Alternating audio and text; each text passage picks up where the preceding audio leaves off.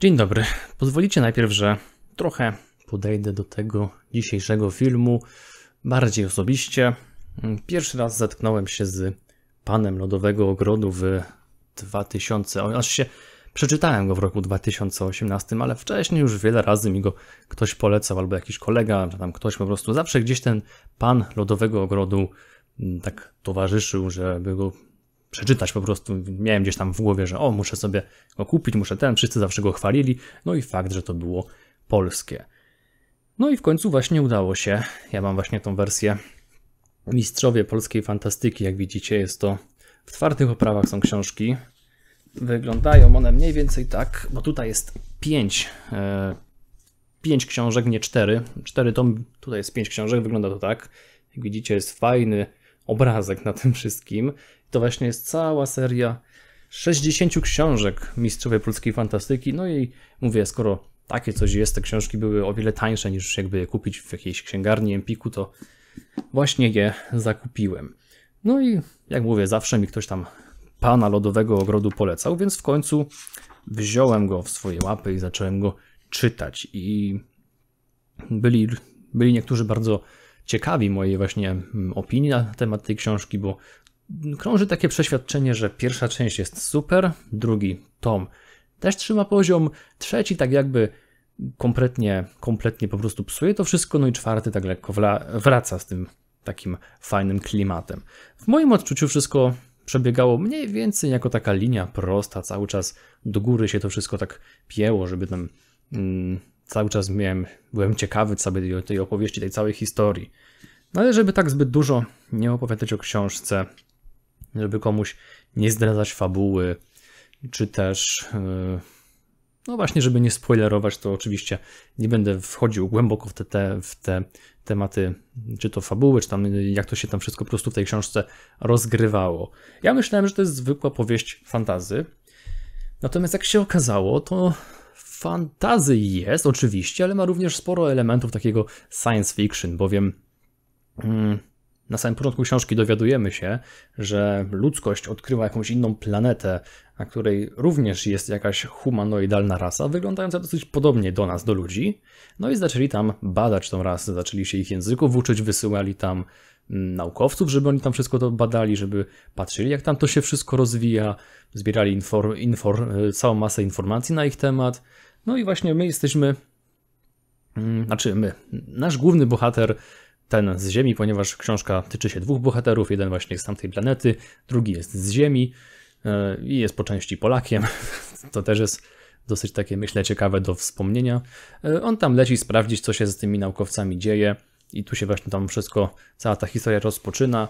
I z takich właśnie jeszcze fajnych elementów tego science fiction w tej fikcji jest to, że nasz bohater ma wszczepiony, już tutaj nie do końca pamiętam, czy to był grzyb, czy to był mikroprocesor, coś takiego. Wiem, że mu wszczepili to w głowę, żeby mógł rozumieć na przykład języki, żeby na przykład, dajmy to, mm, był, jako że to jest tamta cywilizacja, to mm, można by powiedzieć, tam chyba było zawarte, że takie średniowiecze, mniej więcej starożytność, więc oczywiście musiał chociażby umieć posługiwać się mieczem, jakąś tam dzidą, dzirtą, mm, łukiem, więc jak miał ten mikroprocesor, chyba to był tam grzyb nazwany w głowie, no to mógł sobie na przykład na siatkówce wyświetlić trajektorię lotu strzały, czy też cel, gdzie ma tam obrać. To właśnie były takie fajne elementy i też chyba najciekawszym elementem z tego wszystkiego, z tego co mu tam właśnie wszczepili, było to, że potrafił w błyskawiczny sposób spalić sobie cały zapas cukru, jaki miał w mięśniach i błyskawicznie zmienić to w energię, w efekcie czego niesamowicie y, przyspieszał. Dla niego tak jakby czas zwalniał, ale dla wszystkich innych to on nagle się robił niesamowicie szybki. To jest bardzo fajna właśnie, mm, bardzo fajny element tej całej opowieści. E, początkowo takiej magii nie było zbyt dużo. Później właśnie kolejne części rozwijają coraz bardziej ten wątek magiczny tego całego świata. Dowiadujemy się o co dokładnie tam chodziło, czemu ten świat cały, cały czas jest mniej więcej w tych samych ramach czasowych mm, itp. itd. I no, o, oczywiście dużo właśnie osób zarzucało, że początek był fajny, tak jakby połączenie Wiedźmina z właśnie z takim jakimś science fiction takim dobrym, i tak właśnie to wszystko tak się pieło. Część pierwsza tam idziemy cały czas prosto do góry, do góry. Część druga, no troszkę słabiej, ale też idziemy do góry. I nagle ludzie, e, często czytam, że albo tam jak rozmawiam, że mówią, że część trzecia taki, taki spadek widoczny miał. Ja tego spadku nie odczułem. Trochę, powiedzmy, pod koniec odczułem spadek. Bardzo szybko się ta książka kończy. To jest coś, co ludzie nie lubią. Ja do tego jakoś nie miałem mm, co zarzucić. Po prostu koniec książki to koniec książki. Czy to się rozgrywa na etapie 40 kartek, 40 stron jednej strony. Dla mnie, no dobra, czasami może to być irytujące, jak jest na przykład kiedyś tam coś czytałem i się chyba całe zakończenie, wszystko, wiecie, wszystkie wątki nagle, e, wszystkie wątki skończyły się na etapie trzech kartek chyba. To oczywiście można być zły, ale tutaj akurat tak nie ma. Ja czegoś takiego nie odczułem. Cały czas czytało mi się Pana Lodowego Ogrodu bardzo fajnie, no ale niestety, jak mówię, nie chcę wchodzić bardzo w te tematy fabularne, żeby wam tam nie zdradzić. Mm, to powiedziałem trochę o pierwszym bohaterze, który jest z Ziemi. Mm, jego historie na początku są bardzo ciekawe, też dużo osób mówi, że w pewnym momencie to się odwraca i właśnie nasz drugi bohater, który jest z tamtych rejonów, z tej śmiesznej takiej planety, gdzie my na początku poznajemy bardziej ludzi, których można by przyrównać trochę do takich wikingów, którzy posługiwali się trochę też technologią w takiej Azji, dobrze kojarzę, bo chyba mieli statki takie wzorowane jakby na takich azjatyckich statkach, ale zachowywali się trochę jak tacy wiking, wikingowe, jak my to ich często postrze, postrze, jak to często popkultura postrzega wikingów. A druga z kolei, drugi bohater, ja go początkowo postrzegałem, jakby on był z takiego, z takiej Persji, Babilonu. Wszędzie mi się wydawało, że tam pustynie są i tak z początku nie za bardzo mnie on interesował. W pewnym momencie faktycznie on bardzo Mm, bardzo fajnie miał opisaną tą całą drogę, bo on tam bardzo wysoko był w. Mm, jak dobrze kojarzę, był chyba księciem jednego tam z mm, takich imperiów, jak to się tam chyba było nazy nazywane. On tam chyba był księciem, on tam był szkolony właśnie przez te etapy szkolenia, jak on tam musiał na zasadzie sterowania takimi małymi stworzon stworzonkami, musiał pokazać, czy jest godny tego, żeby być w przyszłości na przykład właśnie jakimś tam imperatorem, czy też cesarzem i tam właśnie dostawali on i jego bracia jakieś tam wysepki, tam mieli te swoje takie małe stworki i tymi stworkami tam mieli chyba na flecie grać i w jakiś tam sposób e, kierować tymi stworkami, żeby coś te stworki robiły, żeby się nie leniły, żeby nie miały zbyt dużo jedzenia, e, czy też żeby się nie zabijały no, wzajemnie i każdy z tych trzech braci jakoś tam inaczej sobie tymi stworkami tam mm, to wszystko robił. No i tam oczywiście on był w całej masie różnych sztuk walki, uczony różnych języków, przebieg, prze, przebiegłości, no wiecie, wszystko co tamten mógł. No i w pewnym momencie właśnie poznajemy historię bardziej z jego oczu, to co się tam dzieje naokoło, to co go tam otacza i to jest śmieszne, bo mm, czytamy o jego przeszłości, która w pewnym momencie właśnie zderza się z tym, co czytamy o tym, o tym drugim bohaterze, znaczy tak jakby to jest nasz pierwszy bohater, który się nazywał Wuko Drakainen, jak dobrze pamiętam, chyba tak, chyba było Wuko, już trochę jednak czytałem tą książkę dawno temu, więc nie pamiętam wszystkich wątków dokładnie, ale on ma jedną taką po prostu linię czasu, a ten drugi nas tak stopniowo goni, aż w końcu się zde zderzają i dwóch oczywiście bohaterów tam w, nie, w tym samym czasie po prostu zaczyna działać. I fajnie właśnie jak to, co pan Grzędowicz e, napisał na przykład w pierwszej książce, jakiś tam taki mało istotny fragment nagle zaczyna nabierać takiego wielkiego znaczenia, na przykład w trzeciej czy też w czwartej. To mi się właśnie strasznie podobało w tej książce, że to nie jest takie, wiecie, sorry za strzyknięcie, to, to nie jest takie zwykłe mm, fantazy, jakbym to mógł powiedzieć, o ratowaniu świata, bez jakiegoś głębszego takiego mm, przekazu, tylko to jest jednak książka, którą warto poczytać, warto się przy niej skupić trochę, mm, bo nie ma tutaj takich, jakbym to powiedział, jak czytałem Wiedźmina, opowiadania, to czytało mi się je bardzo fajnie i fajnie jak tam elementy polityczne były takie właśnie wplatane. Natomiast jak czytałem już tą całą sagę wiedźmińską, te pięć książek, no to w pewnym momencie miałem już dość tych, mm, jakby to powiedzieć, charakterków na przykład naszego głównego bohatera, to jak tam nagle mamy postawionego Wiedźmina, wiecie, w takim świetle w jednej książce, a nagle w drugiej jest on kompletnie inną osobą. I ja wiem, że to wszystko mm, miało na celu ukazanie właśnie naszego Geralta, Wiedźmina, mutanta, jako takiego zwykłego, zwykłego człowieka, który też czuje ITP, ale choć trochę się chyba zapędziłem na ten temat, na który chciałem mówić, ale chodzi mi o to, że w pewnym momencie miałem tego już jakby, tak jakby dość, że mm, zbyt bardzo zamiast fantazy, wiecie, Wiedźmin, polowanie na potwory itp. zbyt bardzo to przeszło w taki element kreowania królestw, y, walki dobra ze złem, coś tam, coś tam, coś tam. I tutaj co prawda też taki element jest, Tylko, że on jest zbudowany od samego mniej więcej początku.